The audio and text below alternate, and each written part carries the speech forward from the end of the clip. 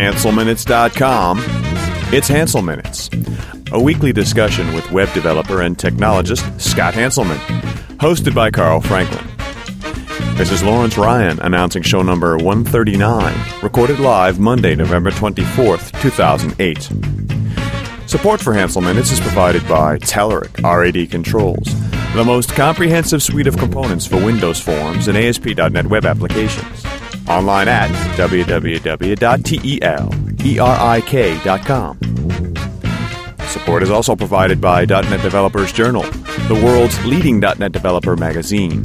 Online at www.sys-con.com. In this episode, Scott talks with Miguel de Icaza and Joseph Hill, the folks behind Moonlight. Hi, this is Scott Hanselman, and this is another episode of Hanselminutes. This week, we're talking to Joseph Hill and Miguel de Icaza from Novell from the Mono Project. Thanks, guys, for taking the time to talk to me today. Thanks. Thanks for having us. Now, Miguel, you're actually on vacation, so you're calling in from Mexico right now. Uh, yes, that is correct. Are you like in a, in a you're in your hotel or? No, I'm staying at the at a friend's uh, at a friend's place. So you know, it's it's nice to have friends that can host you when you come here. Yeah, that's great. Well, thanks. I didn't realize that you were on uh, on vacation. I appreciate you taking time out of your out of your day. So uh, we got some Moonlight uh, announcements here. Uh, yes, that's right. Um, we're finally, um, you know, we've been working Moonlight for a little bit more than a year now. In the in the first version of uh, of Moonlight, uh, and as you as your audience probably knows, um, it's it's um, it's an implementation of Silverlight 1.0 right now, and we're about to we're about to launch it. Initially, we started this project because we were really excited, uh, not by Silverlight 1.0, but by Silverlight 1.1, which was announced in Mix in 07, I think. And um, so we got really interested about uh, Silverlight 1.1, uh, but as it turns out, um, you know, a lot of the technology that you needed uh, uh, was, uh, you know, the foundation uh, um, existed in Silverlight 1.0. So we've been working towards that goal. First ship that version, and um, and what was interesting is that when we started um, when we started the project, when we started the project, we showed this to a few guys at Microsoft, and um, and we thought that it would be interesting. Uh, we thought that it would be interesting for the Linux world that uh, to have an open source implementation of Silverlight, something Mhm. that would fit more naturally with uh, with what the community does there. So um, so Microsoft actually um, offered offered us help, and um, so they gave us access to their test suites uh, for Silverlight uh, 1.0 and now for 2.0 and uh, they also gave us, uh, you know, one of the kind of one of the more most complicated problems with Silverlight really was the uh, the media pipeline, uh, you know, the Mm. media codecs, because you know many companies own, um, you know, many companies own patents and they actively license um, those media patents for, you know, MP3, uh, VC1, and uh, uh, WMZ, and all of that stuff. Mhm. So for us to have a successful um, implementation of Silverlight for Linux, one of the kind of sticky points was how do we get uh, how do we get media to Linux users um, uh, in a fully legit way? So you know, a fully licensed uh, version of the codecs. So Microsoft actually stepped up and um, and um, and they are actually providing the codecs. It's not Novell that provides the codecs. Um, that is the one piece that uh, that is the one kind of a piece that is not open source. Uh, the, the actual video codecs and audio codecs. So the way it's going to work is when you um, when you install Silverlight in your system through you know through uh, through a plugin for Firefox, uh, the first time that you that you try to play any media, any MP3s or any videos, uh, it will it will ask you whether you want to download the codecs from Microsoft. It will go and fetch uh, the codecs from Microsoft and install those on your system. And uh, and in that way, we ensure that every uh, that every user of Silverlight on Linux will have a fully licensed um, uh, media stack in addition to to the Moonlight um, engine. Then, um, so you know, um, so it's it, it's been quite interesting um, working on this because you know I uh, we started just with the with the sample codes, and when Microsoft came in and gave us the test suites, uh, we finally had something you know uh, very comprehensive to aim for, and uh, you know we worked for the past uh, nine months on making sure that uh, that our Silverlight 1.0 passed every one of the Microsoft test suites. Uh, The only thing that is uh, that the only test that we kind of uh, uh, not run perfectly are the ones that are related to fonts because the default set of fonts that come with Linux are different than the default set of fonts that you get on Windows. But other than that, uh, we're you know we're fully compatible at this point. Uh, well, as fully compatible as you can, you know, as you can uh, as you can as you can do it with uh, with with functional tests. That's pretty slick. Now, why why do you prompt them? Why do you have to, uh, pull the codecs down later? I'm curious. Um, well, because the so so it has to do with the way that these codecs are licensed. Microsoft is already a licensor and already, you know, um, well, I guess I guess we could download it immediately as soon as you install Moonlight. Is that your question? I guess we could do that. Um, well, I guess I mean I, I, don't quite understand software licensing and that complicated, but I suppose that if there are if there's a set of people who are using it but are not using it for media, then I guess someone doesn't have to pay someone for the license. Yeah, well, the, so yeah, it's a little bit more complicated than that about who pays whom, but um, uh, because right now it's Microsoft that you know is distributing the codec, so it goes into whatever Microsoft agreement has with the with the with the media owners, I mean the media codec owners. So I don't I don't actually know the details of that. Uh, but you're right. We could uh, we could make it so that the first time you install Moonlight, uh, as soon as you install Moonlight, it also gets the codecs. And um, and you know right now it's uh, right now it's either done the first time you do it or when you uh, explicitly request to get the codecs. So I, I've got a couple of Ubuntu machines around here, but I'm not deeply familiar with uh, with Linux as a user. What mm-hmm. is the experience like? I mean, is this something that you have to do? You have to jump out to the command line and su this and that and sudo this and that to get this installed? Oh, no, not at all. We actually we're actually very proud of uh, of uh, of the solution we came up uh, uh we came up with. It's very similar to the Windows experience. Uh, right now, uh, you know, we're recording this interview before we go live, um, so so right now you can't see the experience, but you will end up on the Microsoft Silverlight site. It will detect your browser based on your uh, you know, when you get this little icon that says, uh, you know, you're missing Silverlight, click here to install. Uh, you will click there, and uh, when you go to the Microsoft website, it will detect that you're running a Linux system. So it will forward you, uh, depending on the architecture that you're using, it will send us, it, it will, it will send you directly to one of our servers. And then a little pop-up comes up and uh, just asks you, um, um, just ask you to install it. Uh, or do you agree to install this piece of software that has been signed by Novell? Then you say okay, and then that's it. It downloads it. The only difference that we, uh, the only difference with the with the Silverlight experience is that we are not able to uh, to restart the browser ourselves. So we need to, you know, it, it will tell you the plugin will be active as soon as you restart uh, the browser. Um, so how many architectures and how many browsers will you support? So uh, at the launch time, we're, we're going to support uh, x86 and x86 64, and I think uh, you know if it wasn't for well, I think it's going to be really good because you know uh, we're coming out with both uh, both of the major architecture supporters from the get go. Mm-hmm. The um, and we're going to support Firefox 2 and Firefox 3. We do have experimental bindings, uh, but they're not completed. Uh, we hope to complete them in the future uh, Opera bindings and WebKit bindings, uh, in particular WebKit because it's becoming very popular um, on Linux. So we will have uh, support for the other browsers, but right now there's no major, really there's no product, um, productized version of WebKit right now uh, mm-hmm. available to the public. So, you know, as soon as that, that happens, we'll have a WebKit version as well, or, or multiple WebKit versions. So we designed it kind of with a little bridge that, uh, you know, the plugin is the shared infrastructure is, is all the same across all plugins, and then we have little loadable modules that are different across browsers.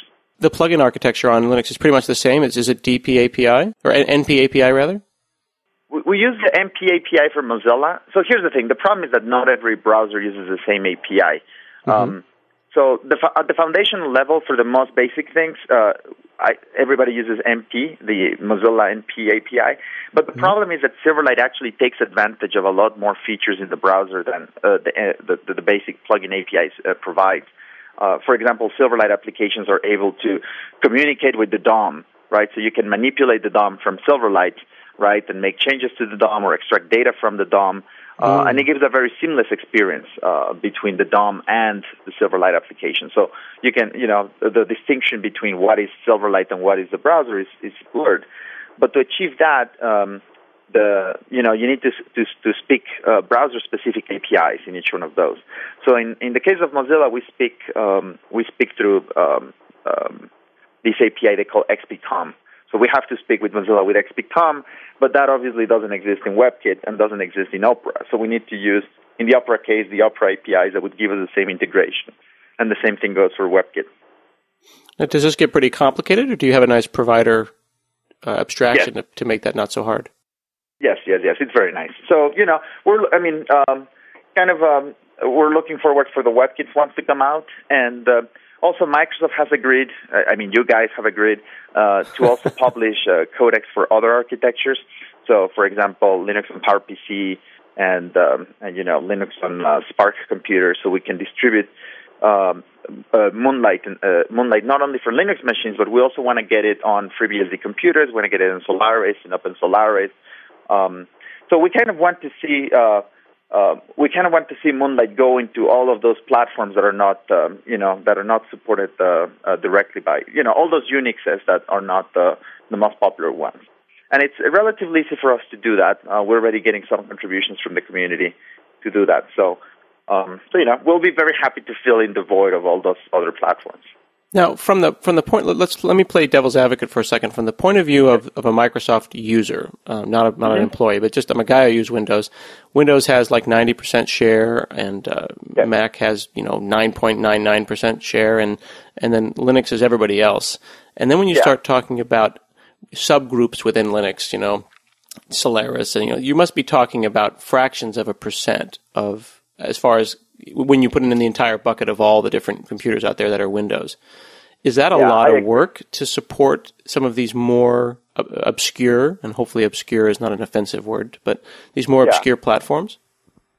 Um, I, well, I think it's a really good point. Um, the I, I, think that at the end of the day, the shared uh, idea that we have with the Microsoft guys right now is we really like Silverlight as a developer platform, and we want to make it available everywhere. So, you know, I, we don't want it to come down to. I mean, if a developer has to at some point, it, it has to come down as to you know, it has to run on Solaris. We wouldn't want the fact that it's not there uh, to stop it. Now, of course, I dispute the claim that we're so so small, the Linux uh, faction. I think we're growing and striving.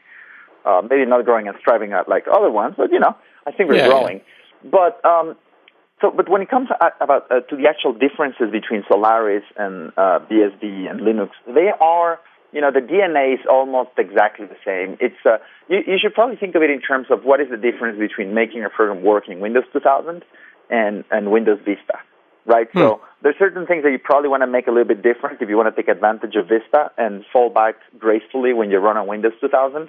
So you think of it the same way. Uh, because the graphics system is the same. Uh, it's always X11. It's called X11. Um, the uh, um, you know, the Unix facilities, the operating system facilities are almost identical. Uh, there's probably, uh, you know, four or five ifdefs in the source code that deal with differences between those two. And the third piece is um, the kind of the hardest part to port, and that's really a Moonlight 2.0 issue more than a Moonlight 1.0 issue, is uh, porting the .NET, you know, the .NET, uh, you know, the core CLR uh, to these operating systems. And those operating systems we already support. Um, and I agree, they're probably not the biggest or the largest uh, operating systems, but I think that having, uh, being able to say, we're going to run on all of those Unixes, uh, regardless of which one you have, I think it's uh, really useful. And kind of the, the, the, part that happens here is that we don't really have to do all of the work ourselves. Uh, what is really interesting about the nature of open source here is um, if someone really, really, really needs it in Solaris or, uh, you know, or a specific variant of, uh, of BSD, uh, you know, they can always uh, they can always do the work, and we'll be you know we'll be happy to to crank out a build for them or and uh, and get the codecs over to Microsoft so that they can distribute those. Yeah, it's pretty cool that you're saying that they're going to be able to go up to Silverlight.net and they're going to get detected and be a first class citizen like everybody else. Have you found anybody at Microsoft to be, um, for lack of a better word, evil? No, no. Well, you, you know, uh, uh, my, the contact that I have with Microsoft, uh, with the Microsoft guys, has been through Mono and through uh, and through Silverlight, and uh, I think that everybody that I've interacted with at, uh, at Microsoft, with no, everybody I've interacted, everybody I talked to at Microsoft about Moonlight or Silverlight, um, they've been always been great, and I think that they share the same the same passion that we do for. Um, um, for the technology, you know, I absolutely uh, love working with uh, with all of them. I think that you know when people talk about evil, I mean, um, you know, I don't think we're playing Dungeons and Dragons, and I think that uh, that completely blurs any actual rational discourse. Uh, yeah. You know, it's it's not a black and white world. There's all of these, you know, it's a it's a gamma. You know, it's a complete uh, uh, spectrum of colors. So. Yeah. So you know, I have never had a problem with the. You know, I happen to like Linux. I happen to believe that um, you know I want to run an open source operating system. But uh, but you know, if somebody wants to run Windows or wants to run a Mac or wants to run Solaris, you know, more power to them. So you know, I, I kind of don't like to take that that position. Um, you know. Hi, this is Scott Hanselman with a word from our sponsor. Do you know how to build Web 2.0 Ajax applications with Web 1.0 components? You really can't. If you want to do the next generation web applications, you'll need next generation components, just like the ones that our friends at Telerik have got. They're RAD controls for ASP.NET Ajax. It's a huge pack of web controls built on top of ASP.NET Ajax that'll add previously impossible performance and interactivity to your next project. The new controls mirror the Ajax API from ASP.NET, so development is really straightforward. The client scripts are shared, so loading time is not a problem. If you just set a couple of properties and you'll be able to automatically bind to web services for a really efficient operation. The new RAD editor from ASP.NET Ajax Telerik loads up to four times faster than before, and the new RAD grid handles thousands of records in just milliseconds. But as always, it's best to try for yourself. So you can visit telerik.com slash ASP.NET Ajax and download a trial. Thanks a lot. Yeah, it's interesting. A lot of people they feel very strongly about one, you know, Microsoft one way or the other. And I, I've always said one of the reasons that I came to work for Microsoft a year ago was that uh, things are changing and that the attitude towards open source is is dramatically changing. And, and I, you know, I've always said that uh, in the next couple of years we're going to see big changes at Microsoft. We've already seen them with with MVC, and I, I, I can only imagine that those things are going to going to get even bigger. I think that the interactions that Microsoft has with with the Moonlight team and the Mono team is maybe not as as public and as visible as some of the other open source stuff we do. And I I don't know. I, I wonder um, there is some way to explain to people how how those interactions work. I mean, do you just call up a dev whenever you need something, and how do they make sure that they don't accidentally you know taint you? They're always concerned. We're always concerned about mono yeah. people seeing something they're not supposed to see, and then you know you have to be killed. Yeah, yeah. Well, I'm, I'm very concerned. No, so the uh, so kind of it's been a really organic uh, relationship. Uh, it kind of begun. It kind of begun with the with us getting involved with ECMA. Um, at the time, Microsoft was pushing uh, C Sharp and the .NET VM through uh, the ECMA standards process, and uh, since we were a tiny little startup, we actually were invited by IBM as guests uh, to the meetings. And you know, you get to you start meeting people, and you start, you know, they become, um, you know, uh, you, you keep a couple of email addresses, and whenever you have a question, you drop them an email. And uh, so it began kind of a, a very organic thing, just like when you go to a conference and you meet people. It, it was the exact same thing, um, just uh, popping up and, and, and talking to folks. And uh, you know, over time, when we when we decided to work with Microsoft together on this, um, you know, I got a, you know, I got a bunch of more email addresses. Uh, so Brian Goldfarb, I always, you know, I always drop an email to Brian and say, hey, Brian, we need help with this. And he, he usually just points us in the right direction. Says, oh, you need to talk right. to this person, that person. And, you know, it's, it's very organic. Um, I mean, it feels very, I mean, at least our collaboration with Microsoft feels very open sourcey, um, in that it's the exact same process that we follow with anyone else in the community, right? Mm-hmm. Uh, it, there's really no different from our standpoint. I think it's an incredibly open sourcey way, and uh, and it goes back to what you're saying. I think not only I, I think that not only Microsoft is changing, but you know the whole industry is you know 10 years ago there was none of this, right? So everybody has to adapt and change to you know uh, the internet being ubiquitous, phones being ubiquitous, you know all of these things. And I think that Microsoft is doing great that uh, you know um, keeping up with all of this stuff that is happening. Yeah. Yeah, I don't know how the listeners would uh, would would thought that this this interaction was going to be, but I guess I somehow imagined that you guys would come to a table and there'd be some someone would put some tape on the table and the open source people would stay on that side of the table. It would be very formal and there'd be all sorts of lawyers and people worrying about stuff. Uh, but, so, but there are, so there are some, you know, they gave us specifications and they said we have a very clear agreement. Uh, they gave us specs and uh, and this is a specification that must be implemented, and the rest we really do on our own. Uh, the only piece that we kind of been exposed to, which is proprietary code, is the codecs, because we had to do some work on that. But other than that, you know, um, I think we've maintained a very clear separation between uh, Microsoft ideas and technology and the way we implemented ours.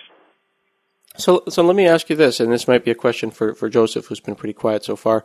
Is what is what's in it for you guys? I mean, why is Novell going to so much effort to make mono mono? I mean, where's the money come from? Well, um, I mean, I think you know, first and foremost, it's uh, I mean, it's really about enriching the the the desktop story for. Uh, I mean, we have you know we have a desktop uh, SUSE Linux um, that you know we're out there promoting, and um, not having you know not having access to Silverlight content on our desktop is not a very uh, appealing proposition. So, I mean, just from just from that standpoint, it's uh, um, you know it's a, it's a pretty compelling case to say, hey, you know, we can be the people that are going to you know that are going to enable this. Um, you know, not only for for our desktop, but you know, for all Linux desktops. Um, you know, beyond that, um, you know, it's well. I mean, that's that's pretty much the Novell story. But beyond that, I mean, it's it's very it's very interesting. Um, you know, technically and um, you know, as far as the avenues it, it opens up for us for you know an interesting way to leverage mono and um, you know interesting um, avenue for the you know for the joint work that uh, that we do with Microsoft. So um, you know, I think initially it just started as as, as building out that desktop story, but it, it opens up uh, a lot of pathways that you know weren't there, you know, particularly before the collaboration.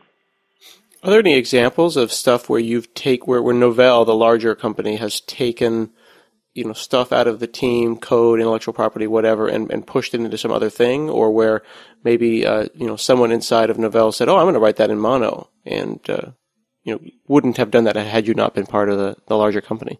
Yeah, I mean there are a number of uh, projects that we built inside Novell um, that were all based on Mono, and I don't think that uh, had they not uh, acquired Ximian, they would have done those projects in Mono. Um, so I guess uh, taking kind of a little bit step back. Um, to why we're building it, uh, there, there were two elements. One of them is we really like the technology in terms of what .NET could do for developers. And, uh, you know, it's a story that I always tell, which is I was kind of jealous that the Windows people were getting this fantastic developer technology and, you know, Linux was lagging behind again. Uh, so we wanted to bring that technology to Linux.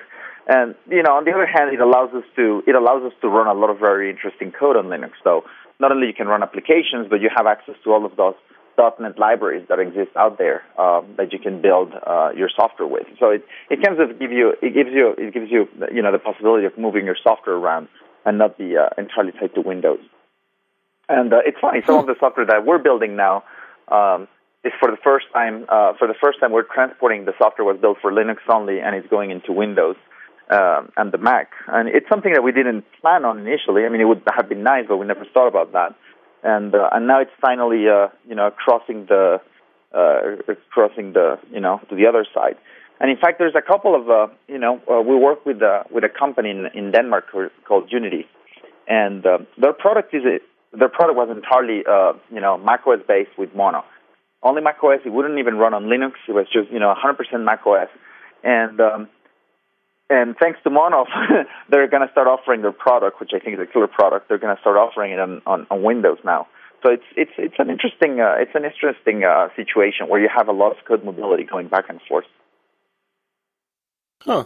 Now, what's what's the future of that? I mean, it seems like uh, there's been a number, amount of, a lot of speculation around Unity, and everyone's talking. About everyone's seeing, you know, shadowy videos of Mono on the iPhone. And are you thinking we're going to get Silverlight on the iPhone at some point? Is that the goal? Uh, we definitely want to. Um, kind of the problem with the with the problem with the iPhone is uh, is the Apple terms of uh, of uh, you know is really the license that Apple gives you to develop applications for the iPhone, and they've basically stated um, both at the you know at the legal agreement that you sign with them and uh, you know at the kernel level they disable uh, JIT uh, JIT engine, so you can't really uh, just in time compile code for that thing, and you can't really um, and they don't allow you to use any interpreter which is not provided by them, which which is the reason why you can't have Flash and why you can't have Silverlight and why you can't have you know Python on the iPhone. It's uh, it comes down to a um, to a legal issue and also um, um, uh, the kernel enforcing some of those pieces. So one of the things that we want to do to be completely uh, you know within the uh, you know completely legit and uh, completely following Apple's requirements is do a static compilation of Silverlight. Now, uh, the upside is uh, you'll be able to bring Silverlight applications to the iPhone. The downside, though, is that you it's not going to work inside the browser. It's not something that you're going to go to a web page and it's going to work. The only way that is going to work is you're going to have to build your Silverlight app and then uh, you know distribute it through either the Apple channel, you know, uh, through Apple's uh, distribution channel in the App Store, or you use the enterprise deployment feature um, that allows you to you know deploy your application to your own uh, internal users. But um, but there's not you know it's not going to integrate into the web. You will be able to build Silverlight applications, but they just won't be inside a web browser. So that is a little bit of uh, you know it, it's a little bit uh, sad that those uh, restrictions are in place, but on the other hand, um, you know, if you built a Silverlight app, at least we're going to be able to bring it to to a phone, and it will be, uh, you know, you're going to get more of a desktop experience with it than a than a web experience. Can you speak a little more about how they are preventing this? I'm not clear uh, if these are guidelines like "Don't be naughty" or if there's something no. that they've actually physically changed to prevent someone from doing what you're saying, to doing jitting. Well, there, yeah, there are two pieces. Uh, the te- on the technical side, they um, you know, when you uh, just-in-time compile code, you basically transform the bytecodes that you get, these, uh, you know, common intermediate language bytecodes, and you translate them on the fly to native, uh, you know, x86 or in this case ARM, you know, ARM uh, code, and uh, mm-hmm. you, you write that stuff into memory. Once you've uh, compiled the function, let's say the function, you know, uh, uh, printf, right? Once you've JIT compiled the function printf, the the next step is you need to turn that page from writable, right, that, that, that chunk of memory that you just wrote into, you need to slip on a bit that tells the CPU you can execute the code on this page. And that's the, te- the, te- the technology that JIT compilers use. Uh, what they do is they write into memory, and once they're done, they flip this bit and they let the CPU execute code there. So in the iPhone uh, operating system 1.0, you were able to do that. With 2.0, uh, starting with 2.0 or 2.1, 2.0, um, they disable that feature. So you're not uh, physically able to implement the JIT engine. Uh, so that means that nothing like V9 or Java or .NET can actually run using JIT technologies. Um, hmm. So what we do have, what we think that is a kind of a unique offering in Mono is we're able to do a full static compilation of .NET code uh, without having any just-in-time compilation uh, like Java or .NET or Flash or V9 do. do. So I think that that's that's the reason why we will, we we're going to be able to do that uh, uh, to do that for for Silverlight on the iPhone.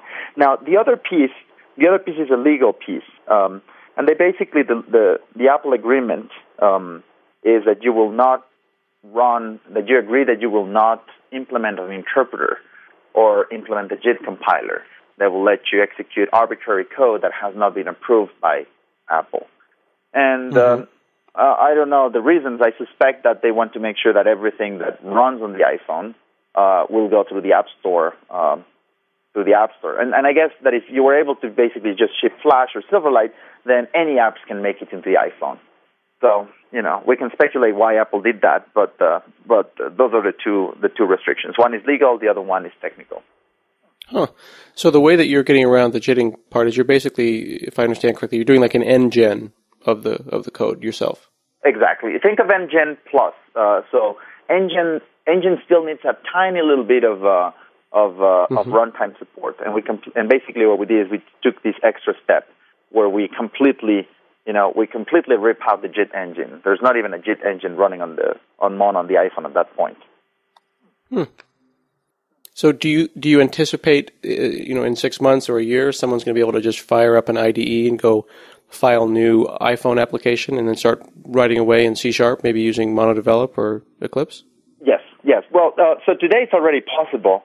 Um, you can do it today. I mean, the Unity guys have basically done the entire work for the pipeline. Now, the, they're focused on gaming, so you're really kind of, you know, all the APIs that you have accessible are, you know, MS Core Lib plus gaming APIs, which, you know, if you're a gamer, it's perfect. If you're not, then then then then it's not. But um, so Unity already has that and it's selling the product right now.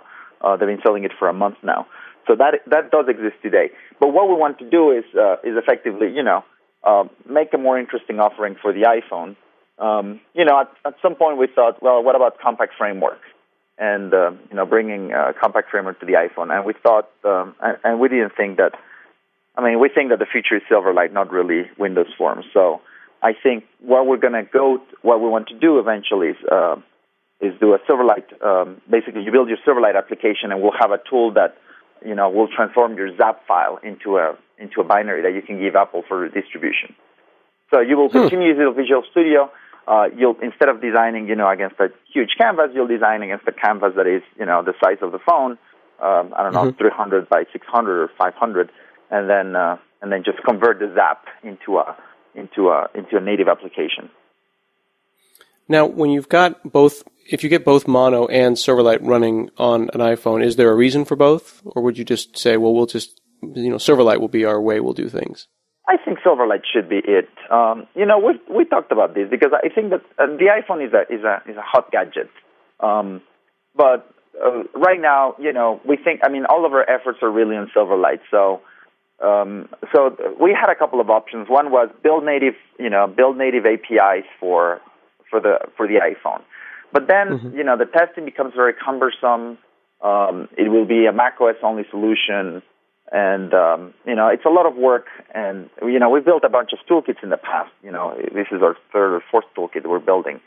So mm-hmm. we really don't want to go down that path of, of of doing all of that work. It seems like a lot of work, and it would also yeah. be, you know, it would be another API the developers would have to learn. It, you know, it would be limited in in how you know there would be no books, there would be zero reference material. So, it, it, I mean, somebody might be able to do that, but I think that really the feature is just to uh, just to build it on Silverlight because Silverlight is well documented. There's tons of books. You know, you can get help anywhere. You can go to Stack Overflow, and you know, a hundred people will answer your questions.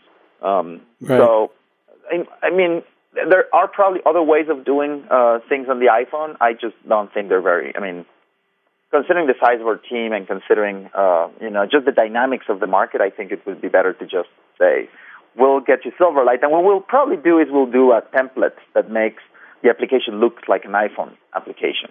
Right, so. right, and that would that would mean a series of controls, and basically you'd be doing owner draw XAML that would look iPhone-ish, and ultimately people would be it'd be pixel by pixel perfect, but it that's wouldn't right. really be the native APIs. That's right. That's right. So people will continue to use Silverlight APIs, and you know we can what we can do is we can take the Microsoft, uh, you know, you guys open source the the, the controls for uh, for Silverlight. So what we have to do is, you know, learn from that source and kind of, you know, build a nice template that would look iPhone-ish, and then, you know, ship it on the iPhone. So that way, nobody would be able to tell the difference between uh, between a Silverlight app and an iPhone app if if they don't want to, right? Right. Exactly. Exactly.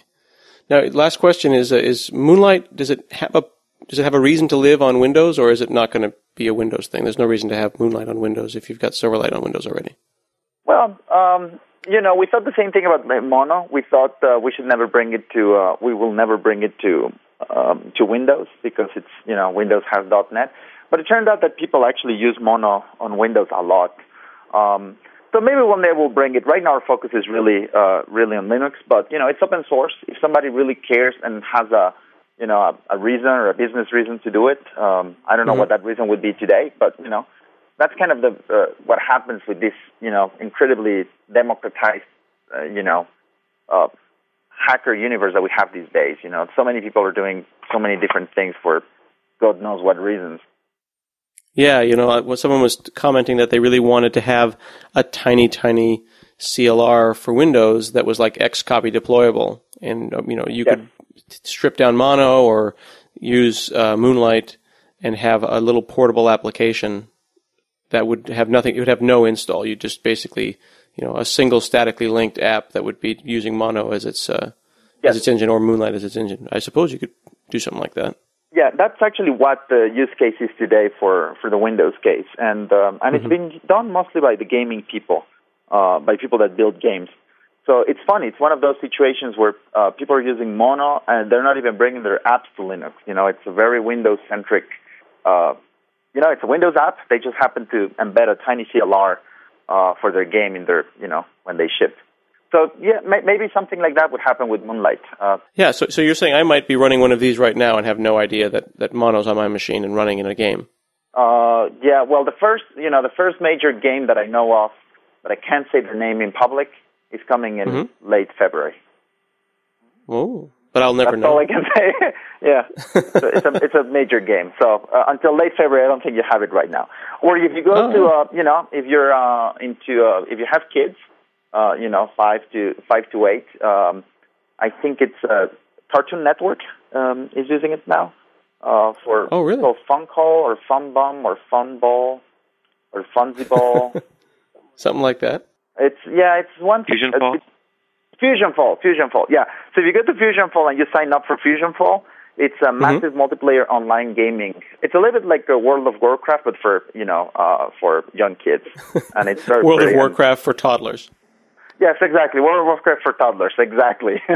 exactly. Using mono. Exactly. Ah, that's fantastic. Yeah. Cool. Well, Miguel and Joseph, thanks so much for sitting down to talk with me today on the show. I know that, again, you're on vacation, Miguel, so I'll let you get back to uh, the beach or the mountains or wherever you are in Mexico. Thank you very much, Scott. It was a pleasure. All right, this has been another episode of Hanselminutes, and we'll see you again next week.